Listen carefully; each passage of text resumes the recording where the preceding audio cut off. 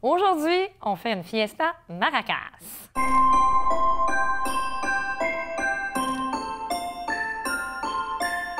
J'ai un maracas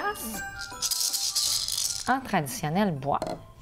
Je l'ai aussi en plastique. Déjà, en entendant ces deux sons, votre enfant pourrait avoir des réactions. Celui qui est en bois est beaucoup plus plaisant. Celui en plastique, un peu agressant à l'oreille.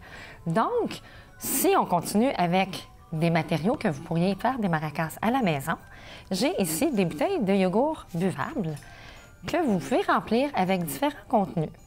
J'aime bien le sable, très doux comme ça. Ici, c'est de la cannelle en bâton. Donc, on peut se servir aussi d'ingrédients qu'on a dans la cuisine. Ensuite, pourquoi pas quelque chose d'un petit peu plus lourd où votre enfant aura peut-être une réaction et qui en même temps est un jeu, ce sont des billes. Alors, si je vous montre un petit peu tout ce que j'ai dans ces bouteilles-là, il y a du contenu de cuisine, il y a du contenu de garage, il y a du contenu de l'extérieur. À vous de vous amuser avec vos enfants et de leur faire découvrir comment ils pourraient faire des sons avec différentes choses dans leur environnement.